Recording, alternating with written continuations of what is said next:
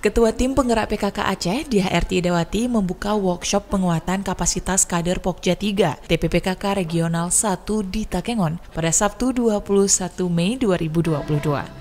Dalam penjelasannya di hadapan peserta workshop, dia menyebut acara itu digelar agar tim penggerak PKK di kabupaten kota, khususnya yang membidangi Pokja 3, mengetahui tentang program Pokja 3 dan mengetahui fungsi dan juga peran kader, serta mengetahui bagaimana mengembangkan program agar terimplementasi dalam masyarakat, termasuk mengetahui bagaimana teknik pengisian data Pokja 3. Dia mengatakan pemberdayaan kesejahteraan keluarga atau PKK memiliki 10 program pokok dan tiga di antaranya menjadi tugas dan tanggung jawab Pokja 3, yakni pangan, sandang, dan tata laksana rumah tangga. Sementara itu, workshop tersebut juga diisi dengan sosialisasi dan bimbingan teknis terkait sejumlah hal menyangkut peningkatan kapasitas para kader. Dalam sosialisasi yang dilakukan dia usai membuka workshop juga dijelaskan terkait pentingnya keberadaan tim penggerak PKK di kampung-kampung dalam upaya menciptakan lingkungan rumah yang sehat. Dia berharap para kader PKK dapat berperan aktif dalam melakukan sosialisasi guna merubah pola pikir masyarakat dalam memperlakukan sampah dan juga dalam menangani permasalahan lingkungan sebagai tanggung jawab jawab bersama.